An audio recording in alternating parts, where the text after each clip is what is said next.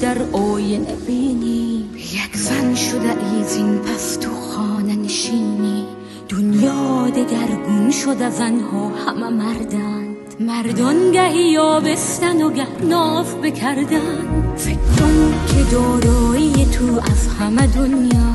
یک چادر آبی و جهانی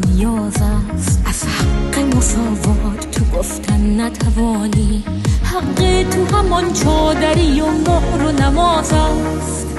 از این پس تو باید که بشینی و تبعیض ببینی و کلامی نگویی. مرد خوب همان است که بی عقل و زبان است و مسلوب بهشتی است. که جای عشق حال هوری با زنان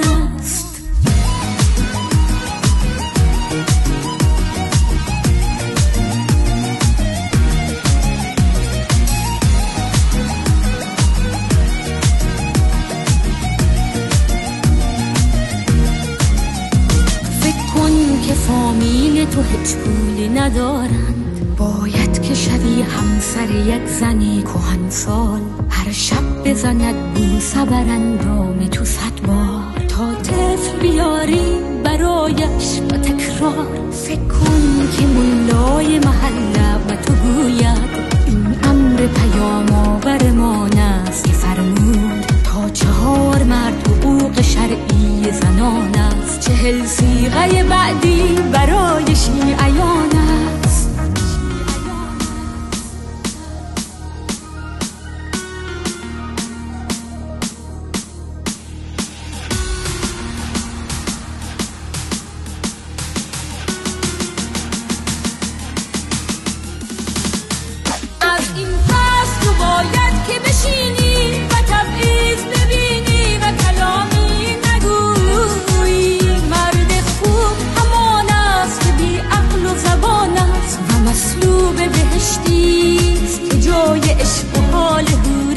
زنان است. از این پس به مرگی تو دوچاری براهی نداری.